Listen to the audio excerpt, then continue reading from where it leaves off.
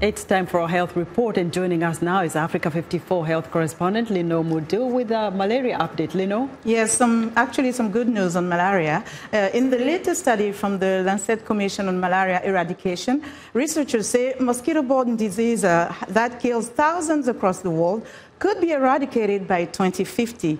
In the research report entitled Malaria Eradication Within a Generation Ambitious, Achievable, and Necessary, the team writes that malaria incidence and death due to malaria has been steadily declining over the past two decades. Since 2000, for example, there has been a 36% drop in new diagnoses of malaria and 60% decline in the number of deaths due to the disease. Despite these encouraging encouraging numbers, however, there are still 200 million cases of malaria detected worldwide each year. 500,000 people still die of malaria every year. The researchers say there is a need for adequate funding and public health strategies that could ensure that within the next 30 years, malaria could be a disease of the past.